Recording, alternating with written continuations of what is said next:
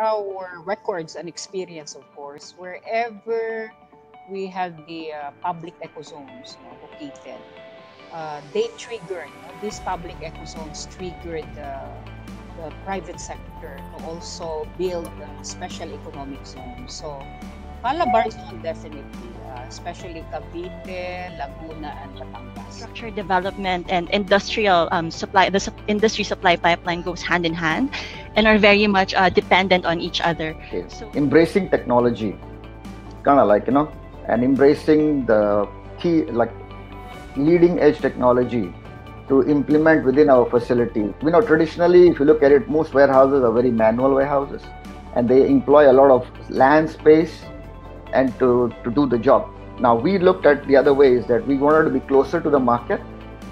So, having our facilities nearer to the consumers, so shortening the lead time, having our facilities being automated, having a vertical height rather than the land mass, we employ, em, embraced ASRS for that could help us to do timely receiving and uh, put away, and then this and short returns also for the trucks. Like you can bring out products very quickly with our automation and technology. I think the short answer from a, you know from a manufacturing or industrial sector, absolutely, it'll have it'll drive the growth. It, it there's no question about it, right? It takes uh, you know we think of of the, all the PEZA zones, even just in Luzon, just by the percentages that they have, it'll definitely drive the growth. There's no question, and I think we're we're starting to see that already.